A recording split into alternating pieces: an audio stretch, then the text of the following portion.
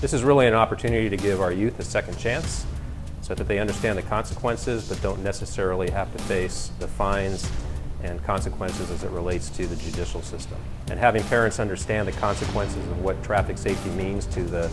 livability of our community and the safety of our children is so important so that they can reinforce that message. A diversion program that our traffic officers can interact with the, the youth and the parent allows us to build more of a relationship and hopefully educate them and give them an understanding. It's less confrontational and it's an opportunity to create a good experience so that hopefully the, the youth have a positive experience and take away why they should be safe when they're driving or walking or riding their bicycle.